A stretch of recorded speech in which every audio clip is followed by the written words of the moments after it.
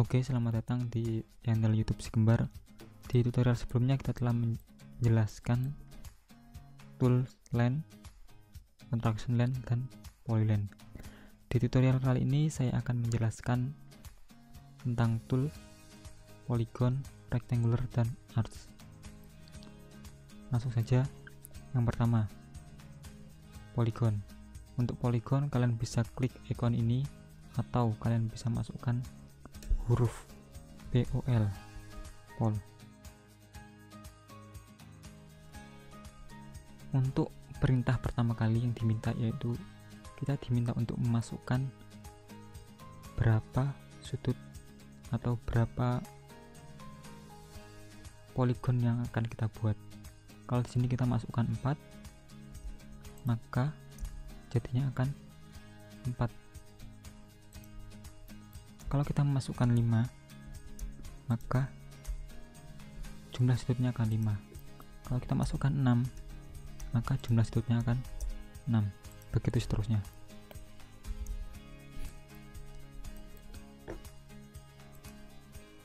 Nah setelah kita memasukkan jumlah sudut yang berada pada poligon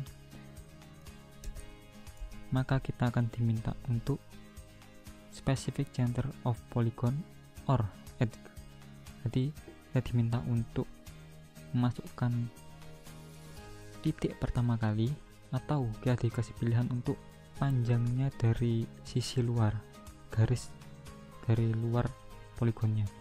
Misalkan kita gunakan yang specific center or polygon. Nanti kita untuk masukkan titik tengah-tengah kalau kita pilih E maka kita akan diminta untuk masukkan panjang dari garis garis dari poligonnya. Misalkan saya masukkan 500 maka panjangnya akan 500 jadi seperti itu. Masih poligon. Nah setelah kita memilih center point. Kita diminta untuk inscribe in circle atau circumscribe about circle. Jadi misalkan kita pilih inscribe in circle. Oke. Maka yang diminta adalah jari-jari terluar dari poligonnya.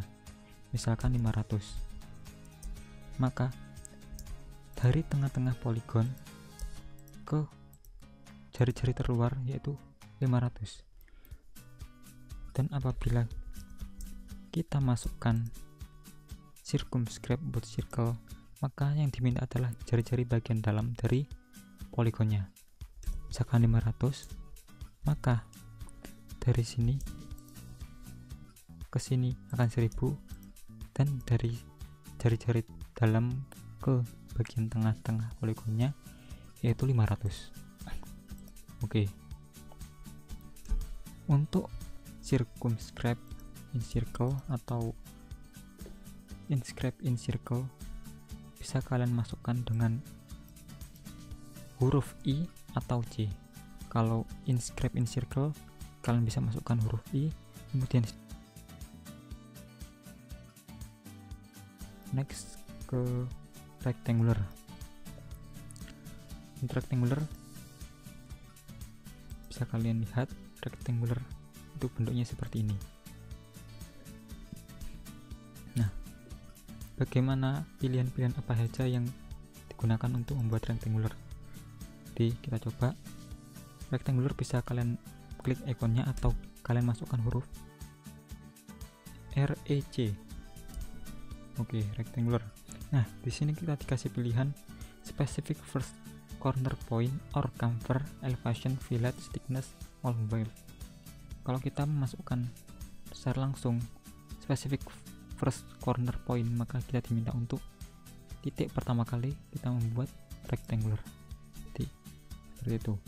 Kalau kita pilih cover cover itu bentuknya seperti ini. Nah bentuknya seperti ini cover cara membuatnya seperti ini. Kalian bisa masukkan huruf C cover. Kemudian kita diminta untuk specific first cover distance for rectangular. Jadi kita diminta untuk panjangnya seberapa sih dari sini ke ujung sini dan dari sini ke sini. Misalkan saya masukkan 500 kemudian ujung satunya kita masukkan 700 maka jadinya akan seperti ini. Nah dari sini ke sini 700 dari sini ke sini 500 jadi seperti itu. Itu untuk cover. Kita lihat saja panjangnya. Nah di sini akan 700 kemudian dari sini ke sini akan 500 lanjut ke elevation.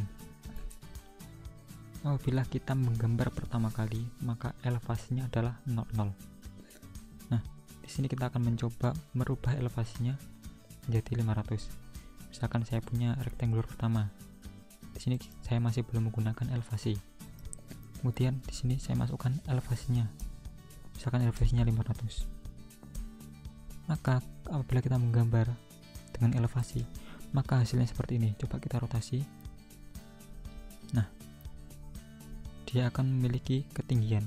Ketinggiannya ini sesuai dengan elevasi yang kita masukkan. Seperti itu untuk elevasi. Lanjut ke fillet.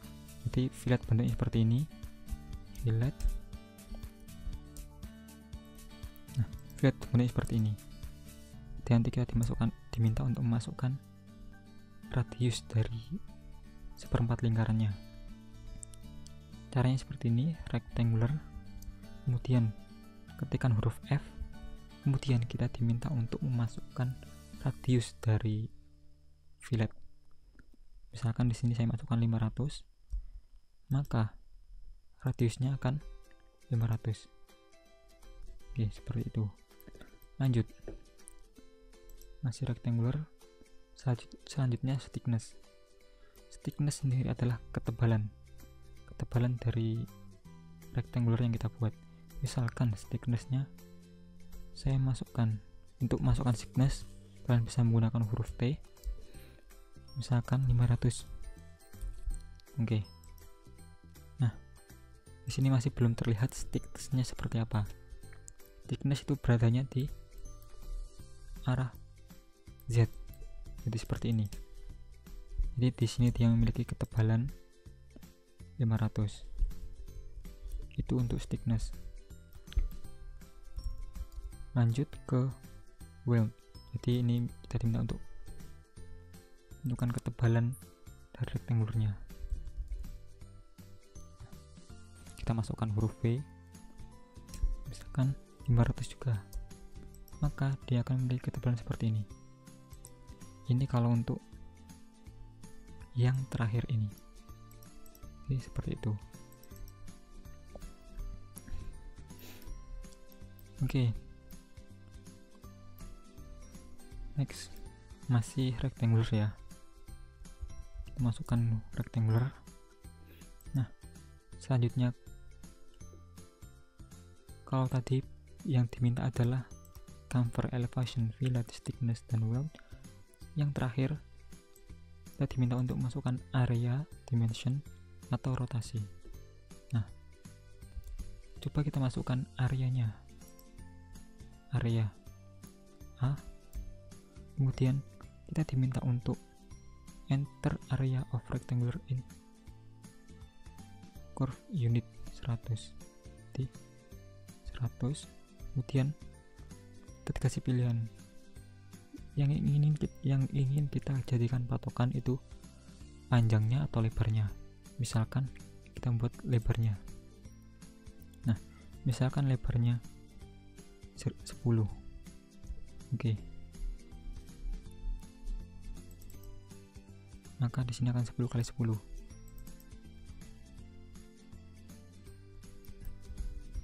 tentukan lagi misalkan kita masukkan areanya. Areanya tekan 100 maka 10 kali 10 coba sini kita masukkan 1000 kemudian kita gunakan lebarnya. Lebarnya 10 maka dia akan 10 kali 100 nah kalau kita menggunakan lebarnya maka panjangnya akan menyesuaikan kalau kita gunakan panjangnya maka lebarnya akan menyesuaikan.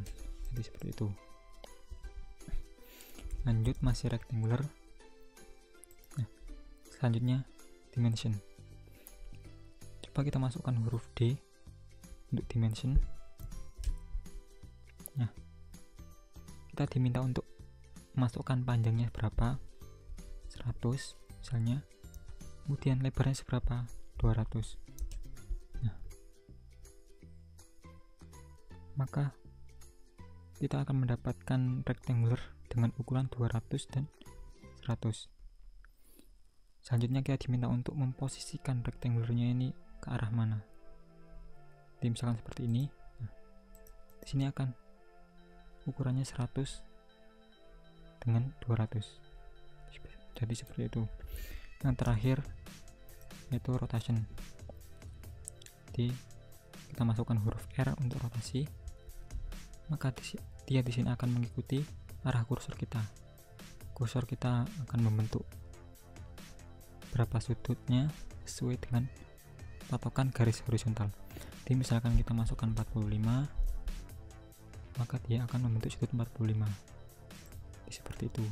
Itu untuk rectangular next ke arts. Nah untuk tool arts kalian bisa masukkan ARC atau kita atau kalian bisa klik ikonnya langsung.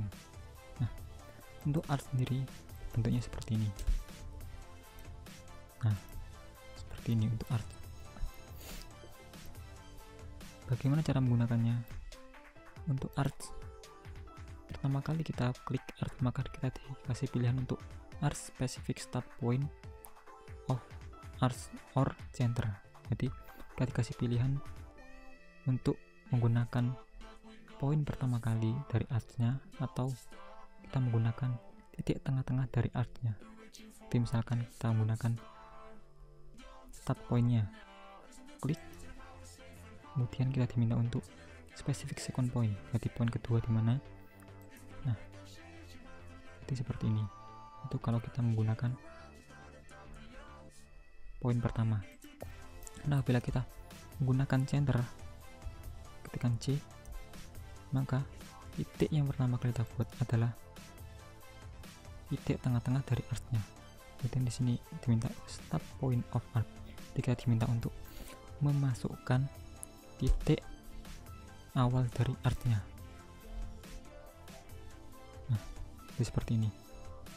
Kita kita klik di sini maka awal dari artnya berada di sini. Oke seperti itu kalau kita menggunakan center lanjut. Nah setelah kita menggunakan apabila kita menggunakan start point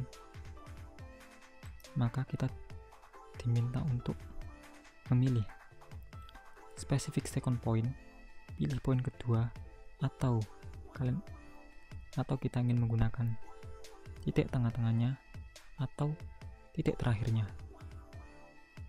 Jadi misalkan kita pilih second point maka jadinya akan seperti tadi. Second pointnya seperti ini. Dan apabila kita gunakan center maka dia akan memilih titik tengah-tengah dari artnya dan titik awalnya itu sebagai start point dari artnya kita contohkan seperti ini. Ini apabila kita memilih center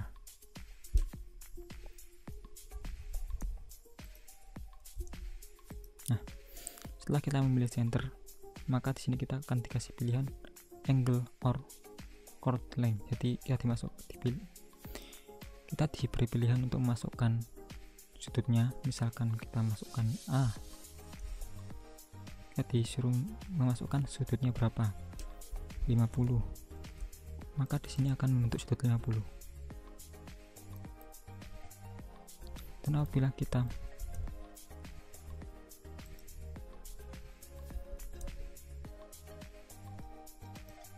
memasukkan chord length jadi kita masukkan huruf L maka kita akan diminta untuk memasukkan panjang garis lurus terhadap garis artnya. Misalkan 600 maka panjang dari sini ke sini adalah 600 lanjut. Masih art. Kita masukkan huruf E. Kemudian di sini ada perintah specific endpoint of art. Jadi kita disuruh untuk memasukkan poin terakhir dari artsnya misalkan saya masukkan ke sini. Nah maka di sini ada beberapa pilihan. Angle direction dan radius. Coba kita masukkan angle. A. Maka di sini kita diminta untuk memasukkan sudut dari artsnya ini berapa. Misalkan saya masukkan 90 maka di sini akan bentuk sudut 90 seperti itu lanjut ke direction. Nah direction itu adalah titik garis singgung terhadap garis artnya di dia arah kursor kita itu akan bersinggungan dengan garis artnya itu untuk direction. Nah di sini kita diminta untuk memasukkan sudut dari garis yang bersinggungan dari artnya misalkan saya masukkan 45 maka garis yang bersinggungan nanti akan memiliki sudut 45 oke. Lanjut. Masih dalam menu N.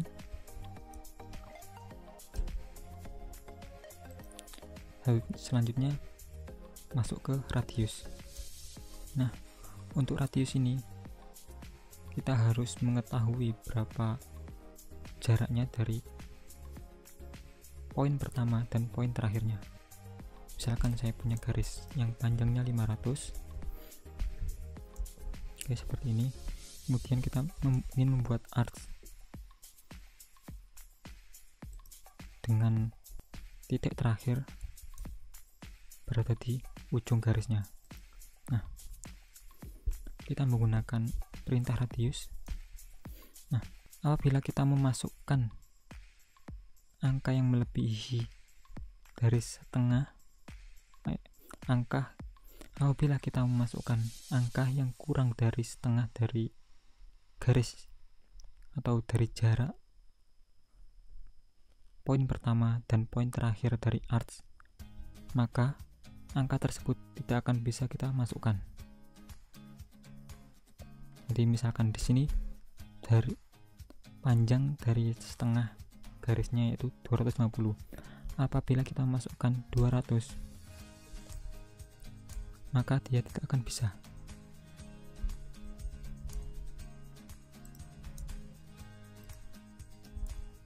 Maka kita harus memasukkan angka yang lebih besar atau sama dari 250. Misalkan saya masukkan 250. Nah, maka dia akan membentuk radius 250.